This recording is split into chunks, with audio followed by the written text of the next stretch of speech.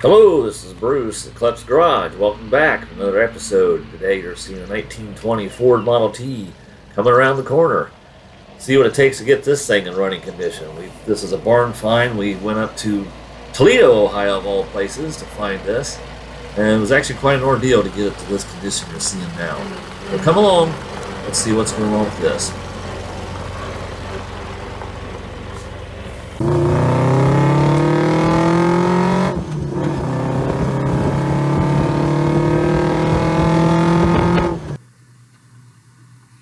So here we are in Toledo, of all places, a little tiny shed attached to a garage. Uh, we actually come up to look at something else, but we're going to end up buying this. So here it is in its barn fine condition. So let's take a look over here at what we actually come up here to look at. Uh, I actually found out about a car.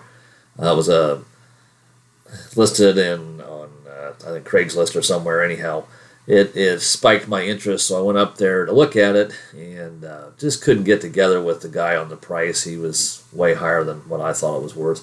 But anyhow, under this cover of all things, we're going to look at a 19 and 32 Auburn. Oh yeah, holy Toledo! It's an Auburn. Anyhow, it's a four-door sedan, um, old, old restoration.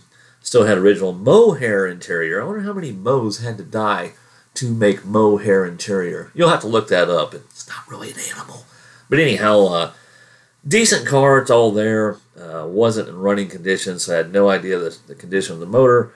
And looked at it over and just, I don't know. Looked at that car and the car beside it. It's a Hudson four-door sedan. So anyhow, we got prices of all three cars. The Model T was the most reasonable. So we thought, well, I came here all the way to Toledo. I'm going to buy something, so end up buying the uh, the T, and, and, of course it wasn't running neither. So kind of made a deal with them, but I probably paid too much for the T. But that's another story. So anyhow, here's the Hudson. That's, that's actually a nice piece. It's a four door sedan, uh, six cylinder. Both cars were uh, six cylinders, if I remember right, and um, neither one of them were in running condition. I don't know what it would take to get these in running condition. Hudson had some quirky things. They had a um, cork disc clutch and it ran in oil, among other things. Those had a habit of sticking when they set around. I have a 1912 Hudson, and that thing sticks at the drop of a hat. So really didn't want to get too invested in that because I know what it's going to take to uh, get it running. So uh, in this scene here, we're uh, actually getting the uh, the uh, Model T out of its hiding place, and Hey, Sandy in Texas, guess what? I finally got an electric winch, and we're actually using it. Good thing it had a 50 or 60 foot cable because we needed it. It's on the front of our 24 foot trailer. This is all the farther we could back into the guy's driveway, and uh, couldn't really push it out of there because there wasn't any room for us to get in front of the car. Believe it or not, it was just it was packed. So anyhow, uh, winched it out of here, and then if it wasn't tight enough, I mean, we had like a half an inch, if that, on either side. Wasn't tight enough the back there's a set of steps that we had to uh, try to miss. So Nash is piloting the T right now, and he's trying to uh, miss the steps as Ted's yelling at him which way to turn, but he really couldn't turn very much because of the, the tightness of the front fenders against the door. Somehow it managed to roll out of there without hitting the, uh, the step. However, the front wheels was going to uh, hit, so we got a floor jack, jacked it up, moved it over, and then uh, come along and, and pulled it back into the trailer. So kind of a tedious job, but you just never know what you're going to run into um, when you're when you're getting something out of a garage find, especially if it doesn't run and it's been sitting for years. We did have to air up a couple of the tires uh, before we moved it, which was really fun to do because we had to carry the air tank up and over the car to get to the wheels. And then if that wasn't bad enough, a friend of mine came with me and bought an Old Town canoe. You can't really see it, but the Old Town canoe is inside the trailer, and we have to miss right, that. So washed it off, cleaned it up a little bit. We put a little gas in it. Didn't want to get to the carburetor, so we had to do a little cleaning. And uh, I addressed the points. I did remember the zip code to Cleveland, 44101, I think. Anyhow, we'll uh, we'll turn it over and see if it'll start. So right now I'm hand choking it. I don't hear anything.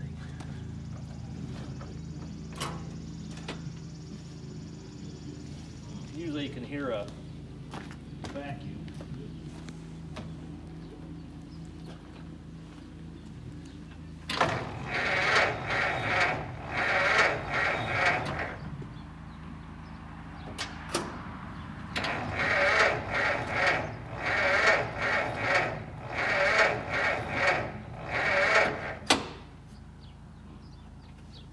Okay. Well, we might have to tow this one.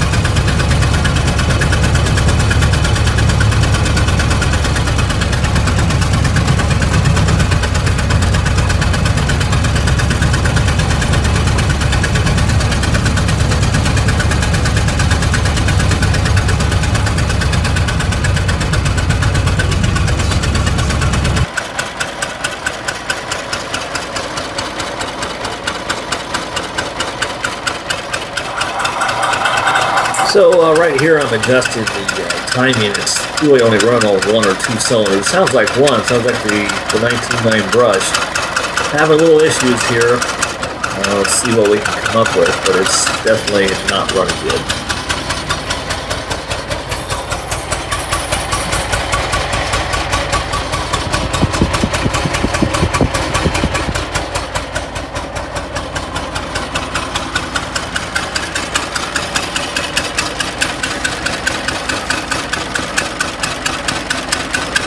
But right now I'm spraying a little uh, spray oil like WD or something like that around the intake and exhaust manifold intake to see if it's sucking air. Model T is notorious for doing that. Model A is bad for doing that. But they won't run right if that's what's going on. Wasn't the case here. Uh, you'll see here in a minute. It's just a, it's a motor issue.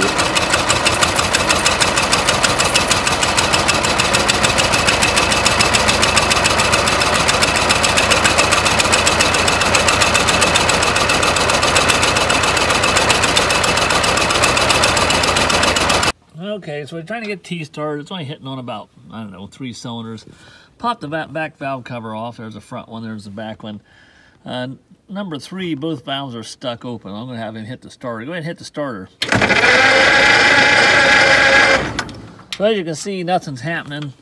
And the, uh, the lifters are hanging up.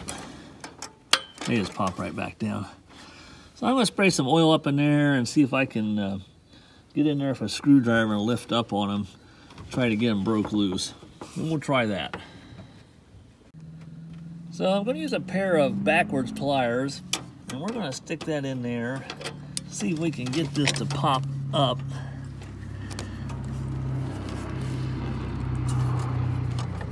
Seems to be pretty stuck. I thought maybe this would go easy.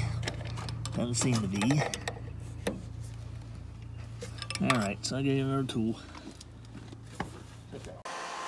Okay, so we got a couple of stuck valves. We're trying a, a little trick here. I got them to move up a little bit, but they won't come back down. Uh, without taking the head off, I'm trying to do something. Basically, using a heat gun, I've drained the, the water out of it so the, so the block will heat up. And uh, we're using our heat gun. So like right now, the one beside we're at 106. And this one's 164, so we're gonna try to bring that temperature up around 200. Then we're gonna let them sit, put some more uh, WD and some penetrating oil on there. Let it sit overnight and see if they uh, they break loose. Okay, so uh, got the two valves that were stuck moving. However, they're not moving smooth enough. Going to have to take the head off and uh, pull them out and uh, you know, scuff them up a little bit, oil them, get them working. So uh, got all the head bolts off, got everything out of the way, drained the antifreeze. Little uh, cute little gadget I got here, a couple of uh, water pipes with caps on them. Learned this at my uh, Model T meeting. We're going to screw these into the to the head here where the spark plug holes go. And we can use that to get this head off. So if this works right, there you go, let's do this number. Usually these back two bolts you have to leave in because it hits the firewall. So that's what we did on this. This makes it real easy to put it on and take it off. All right, now I got the head off. I'm gonna crank this thing over, and uh, number three valves are the ones that was stuck. I got them to move, so what's gonna happen is they're gonna pop up, and they probably aren't gonna come back down. Yeah, so we got all the rest of them are moving the way they should be moving, except for these here. So this one here I've got moving up and down pretty decent. This one here, not so much. So what I'm gonna do is uh, I'm gonna pull this one out and uh, get that cleaned up. So that'll be my project for uh, tomorrow. I've done enough work tonight. All right, so you see me take the head off. Uh, that was last night. This is another night. Uh, went ahead I got these valves, the two valves that were stuck. I got them out of there and got them working smooth. And I'm lapping them in. So to lap a valve in, basically uh, you take uh, stuff and put around that edge. And you take this little handy dandy suction cup tool and put it on there. And you grab it like this. And you do one of these numbers. And you can hear it well, I've already got most of it done. Anyhow, it goes from noisy to quiet. And when it gets down to quiet, it's probably seated in there. And you take some, uh, make sure you take some cleaning fluid and clean all that graphite out of there. And then that valve will be seated. So uh, I'm gonna call that a done job. I'm gonna order a new set of valve springs for this thing because uh, I took these two out and I don't know, they just don't look straight. So for a Model T, I can get eight new valve springs for $5.50. And uh, I think that's well worth $5 to put new springs in. So we'll put new springs in this and uh, button this back up and it should run pretty good. Got my new parts today that I ordered. Got uh, some new springs and the, uh, the new uh, keepers that go on there. So basically this will go up through the valve. This is like a retainer. And then there's a little tiny pin. I got a whole bag of in case I lose them. Anyhow, you shove this up and uh, put that pin through there and you're done. So today, I'll be using my little special tool that I have for doing just this job. And uh, we'll get this hooked up, show you how that works. But we're ready to put it back together and uh, see if this is gonna work. We're gonna try this, um, see if I can get this together. It's gonna be fun. Camera's mounted on a tripod and uh, it's gonna be kind of fun to try to do this and show you at the same time. So what I'm gonna do first is pull this valve out. I have this manifold up here out of the way. I'm gonna lay it there and we're gonna try to put the, uh, the spring in there first. I should be able to do this by hand. I'm actually going to go ahead and try to put the keeper on there. Probably should do that with this.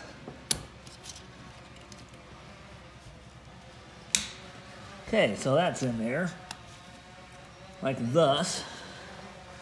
Now we're going to put the valve back in there.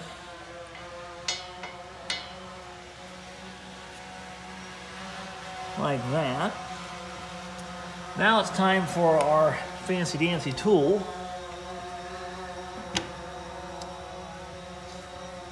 slip that in there like that. Just down like that. And gonna adjust it.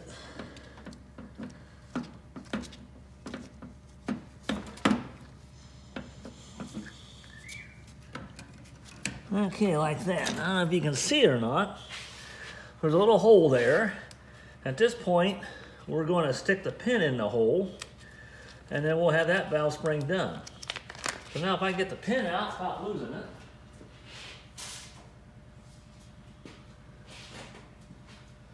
I'm going to use a pair of needle nose pliers to stick that in there like that.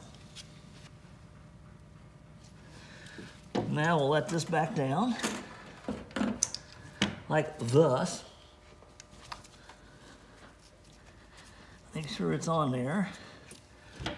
And uh, just for good measure, we'll, uh, we'll crank it over and make sure it works.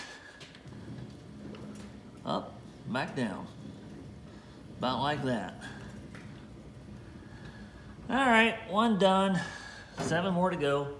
We won't bore you with the rest of it, but that's how you put a valve spring back together.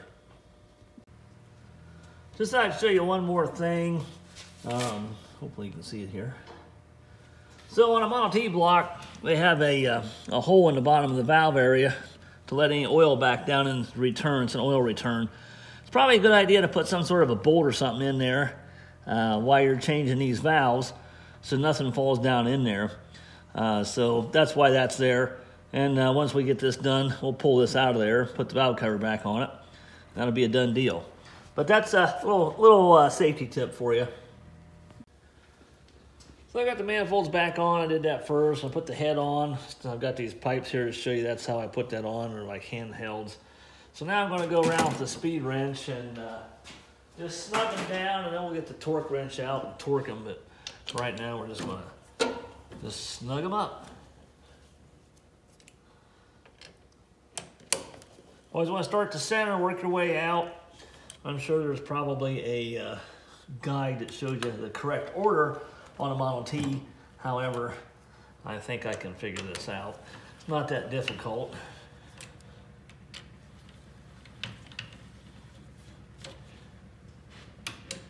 And about like that.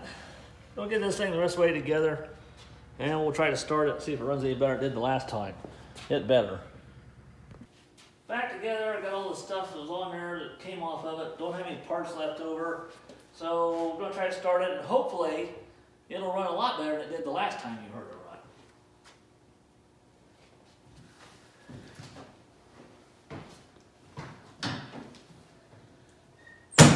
And yes, I shut the because cars start better when you shut the door.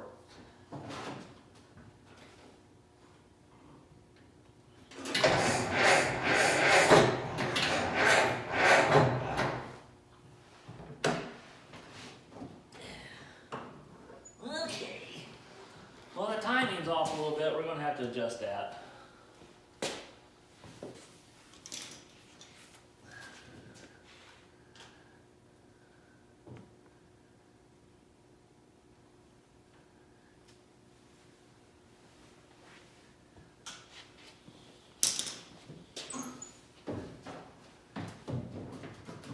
Maybe I'll leave the door open this time.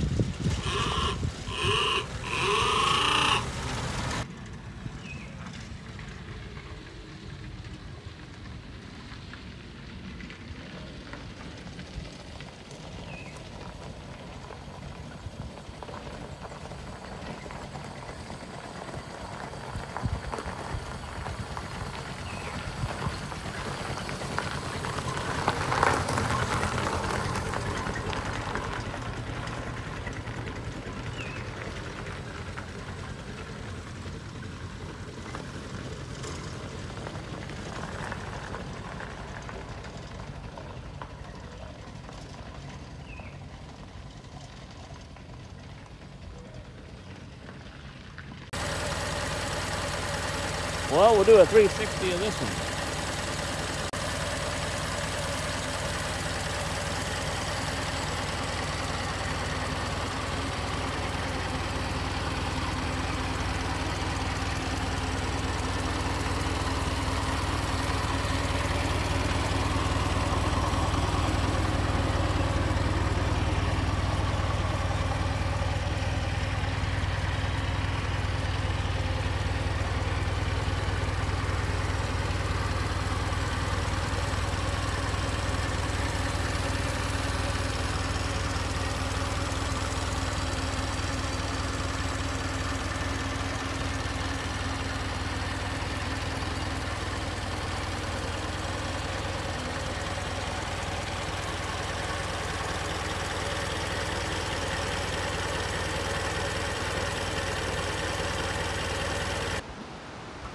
Hey, that's going to do it for this episode of Kleps Garage. Remember to like and subscribe and drive them if you got them. Here's a real gem here.